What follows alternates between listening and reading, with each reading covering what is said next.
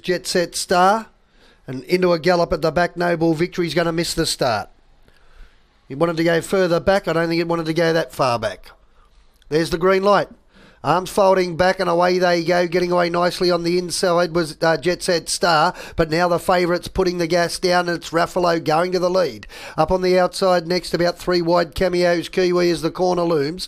On the inside of it was Bondtastic. We go back to fifth spot to Cool Kenny. Out wide there now being restrained is Just Pit Boss and going underneath them would have been uh, Spot's Attitude. Back behind those runners next now is O'Reilly. Up on the outside being restrained into the running line is Just Pit Boss. Along its inside next Speedy McCardle and where's Noble Victory? It's spotting them about 150 metres as they swing into the straight at 28-2 first quarter. They get the Bell and Ruffalo in front. On the leaders back is Jet Set Star leading the outside Brigade Bontastic. In the one by one was Cameo's Kiwi. It covers up Spot's Attitude. In the running line next was Cool Kenny being tracked up by O'Reilly. Back in the field, second last now of that main bunch is Speedy McCardle, last Just Pit Boss and coming down the straight Noble Victory just going around for practice. 30.7 the second quarter. It's a 58 9 half and still in front is Ruffalo. He seems to have a nice hold. Second Bontastic in the running line. On the inside is Jet Set Star and then came in the one by one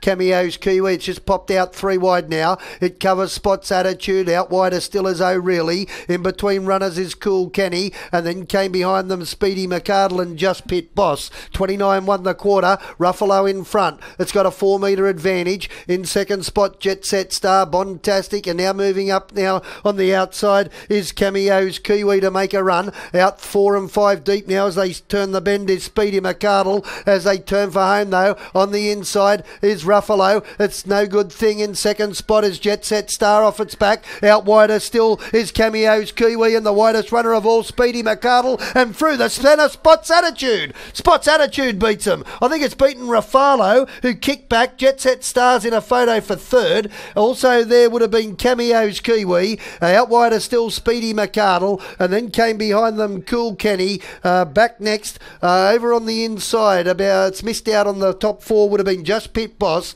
And then came behind those runners next. Second last, Bontastic. And Noble Victory's only halfway up the straight. It'll finish last. Number five, Spots Attitude. Came from out of the clouds, burst through the middle, take took the ball and gets the try. Spots attitude gets the win here in race number three.